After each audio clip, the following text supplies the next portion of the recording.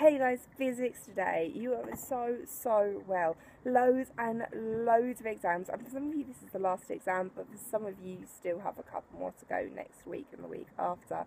So, physics. What do we need to remember physics? Of course, we need to remember our units. Can't believe I didn't ask that question. Your formula sheet is going to be absolutely useless unless you know all of your units. So, please, please, please if you do not know those by now, just spend as much time as you can going over your units.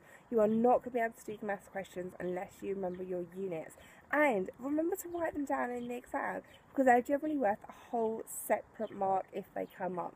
We have to remember our capital letters and our lowercase letters. Newton's is a capital N, not a lowercase n. A lowercase n will not get you the marks.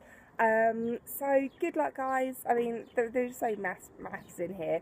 Um, if you've forgotten a calculator, just still do the work in because that will get you a load of marks anyway, and obviously write down your units. Um, what else do we need to know for physics? Interpreting graphs, we can expect graphs in this, we can expect um, practical things to come up. So try and read the questions carefully.